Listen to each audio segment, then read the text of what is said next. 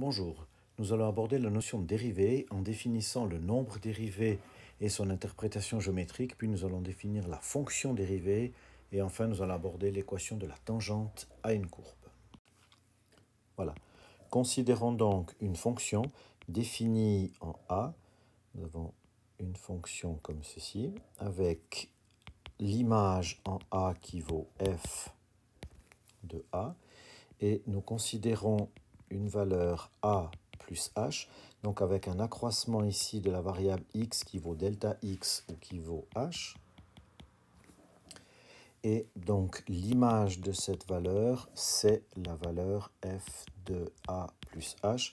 Nous pouvons aussi considérer ici que nous avons x et donc f de x qui est égal à f de a plus h. À ce moment-là, nous pouvons définir le taux d'accroissement de la fonction comme étant delta y sur delta x, soit f de a plus h moins f de a sur h. Et nous pouvons définir la chose suivante. La fonction f est dite dérivable en a si et seulement si la limite pour h tendant vers 0 de ce taux d'accroissement, donc de f de a plus h moins f de a sur h, donc si cette limite existe. À ce moment-là, si cette limite existe, on va la noter f' de a, et ce f' de a est ce qu'on appelle le nombre dérivé de f en a. Alors, cette euh, limite revient au même que si on considère euh, ici x et ici f de x, faire tendre h vers 0 revient à faire tendre x vers a, et donc nous avons une définition équivalente avec la limite pour x tendant vers a de f de x moins f de a sur x moins a. Alors, quelle est l'interprétation géométrique de ce nombre dérivé? Eh Si nous considérons la droite AB avec a de coordonnées AF de A et le point B qui est de coordonnées A plus H, F de A plus H, alors cette euh, limite pour h tendant vers 0 de f de a plus h moins f de a sur h revient à la chose suivante. En faisant tendre h vers 0, eh bien, nous avons l'abscisse a plus h qui va s'approcher de a. Donc le point B va coulisser, puisque le point B appartient à la fonction f, le point B va coulisser le long de la fonction pour se rapprocher du point A. À ce moment-là, que devient la droite AB eh bien, Elle tend vers une position limite qui est une position tangente à la fonction f en a. Et à ce moment-là, euh, ce nombre f de a plus h moins f de a sur h qui représente la pente de la droite AB devient la pente de la tangente. Autrement dit, f' de a est la pente de la tangente à la représentation graphique de f en a.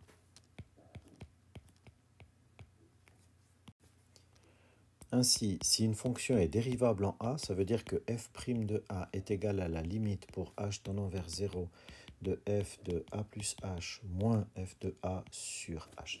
Et si la fonction est dérivable sur tout un intervalle, donc nous pouvons à ce moment-là remplacer la valeur a par la valeur x et écrire quel que soit x appartenant à un intervalle i, f' de x égale limite pour h tendant vers 0 de f de x plus h moins f de x sur h. Et donc nous définissons une fonction dérivée qui est la dérivée première ici.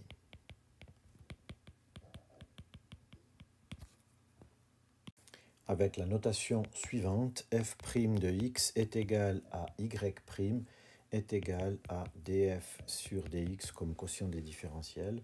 Et si nous dérivons la dérivée première, alors nous obtenons la dérivée seconde. Euh, f seconde de x, et nous dérivons la dérivée seconde, nous obtenons la dérivée troisième, puis la dérivée quatrième, etc. Pour autant que les conditions mathématiques le permettent. Nous allons considérer ici l'équation de la tangente à la fonction f au point d'abscisse A avec une situation euh, comme nous l'avons prise auparavant. Donc nous avons la fonction f avec, qui est définie en A, donc A, f de A, et nous aimerions l'équation de la tangente t à cette fonction en A. Alors ce que nous savons, c'est que nous pouvons définir la pente de cette droite de deux manières différentes. Tout d'abord, la pente de cette tangente, dans ce que nous venons de voir dans l'interprétation géométrique, la pente de cette droite, c'est f' de a, puisque le nombre dérivé de f en a représente la pente de la tangente. D'autre part, si nous avons ici un point de coordonnées x, y appartenant à la tangente, alors nous savons que nous pouvons calculer la pente comme étant le quotient ici de delta y sur delta x. Et donc ce quotient c'est delta y, y moins f de a sur delta x, qui est ici, ça veut dire x moins a. Donc, nous obtenons, en multipliant par x moins a de chaque côté, y moins f de a est égal à f' de a fois x moins a, et donc l'équation d'une droite sous la forme y égale f de a plus f' de a fois x moins a, qui est l'équation de la tangente à f en a. Et ainsi, il nous suffira de remplacer a par son abscisse dans l'équation de la tangente, calculer f de a, puis calculer f' de a pour obtenir, en remplaçant euh, a par sa valeur, euh, obtenir l'équation de la tangente à f en a. Selon le temps à disposition, je peux encore démontrer un théorème. L'hypothèse c'est f est une fonction dérivable en a.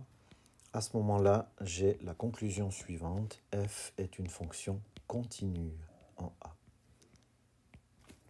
Donc, démonstration, ce qu'il s'agit de prouver, c'est que la limite pour x tendant vers a de f de x égale f de a pour montrer que la fonction est continue. Donc, par hypothèse, f est dérivable en a, donc il existe le nombre dérivé f' de a qui est égal à la limite pour x tendant vers a de f de x moins f de a, je prends ici la deuxième définition, sur x moins a. Donc nous en déduisons que la limite pour x tendant vers a de f de x moins f de a est égal à la limite pour x tendant vers a de f de x moins f de a que nous pouvons diviser par x moins a. Alors bien sûr, si on divise par x moins a, il faut également multiplier par x moins a pour ne pas modifier l'expression. À ce moment-là, nous avons des théorèmes sur les limites qui nous disent que la limite d'un produit est égale au produit des limites, et donc limite pour x tendant vers a de f de x moins f de a sur x moins a fois la limite pour x tendant vers a de x moins a. Et donc, cette limite est égale à la première partie ici, c'est f' de a, c'est ce nombre dérivé qui existe par hypothèse. Et la deuxième partie, c'est la limite pour x tendant vers a de x moins a, soit la limite de a moins a, ce qui nous donne 0. Et donc, à ce moment-là, nous avons f' de a fois 0, f' de a c'est un nombre, fois 0, ça fait 0. Donc nous avons prouvé que la limite pour x tendant vers a de f de x moins f de a égale 0, ce qui fait qu'on peut passer le f de a dans l'autre membre, et donc limite pour x tendant vers a de f de x égale f de a, et donc la fonction f est bien une fonction continue.